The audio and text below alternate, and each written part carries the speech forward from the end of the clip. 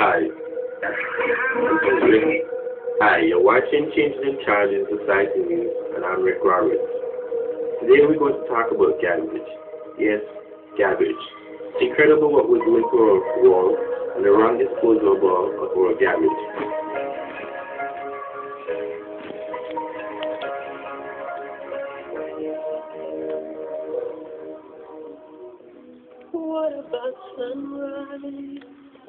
However, today the government has set out a new law among Canadians and garbage, garbage recycle.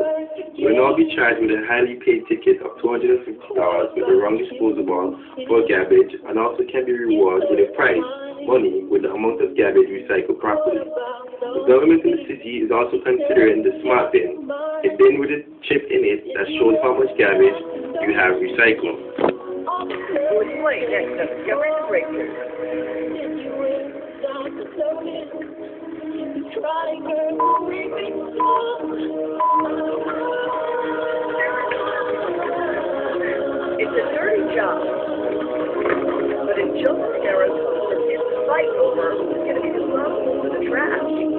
The kids and I have a, a running marathon every month as to how much we can actually scourge under the house and prevent.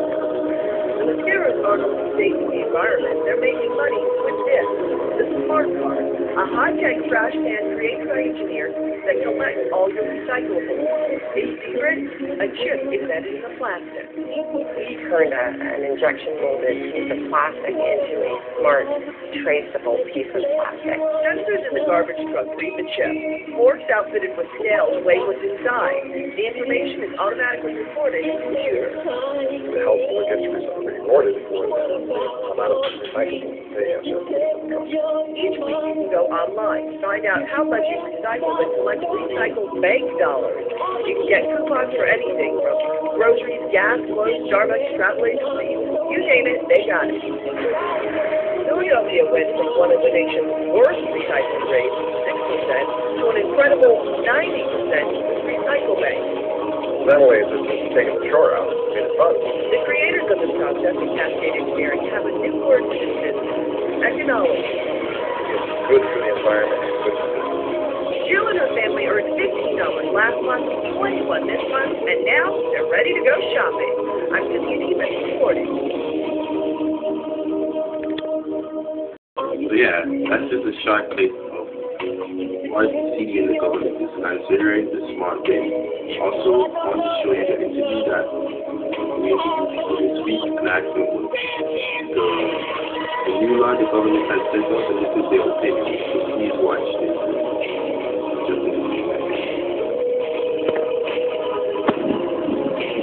Good morning, Mom. So I two minutes of your time.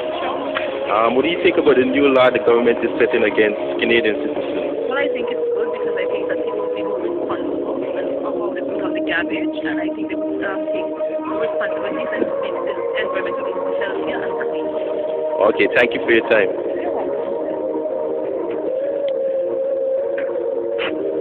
This is just a look around the neighborhood that I'm in, and I'm interviewing people. It seems like these people are doing pretty good with the recycled bin and the garbage disposal, so they might be rewarded with a few cash every week. Watching Challenging Changes in Society News by Rick Roberts.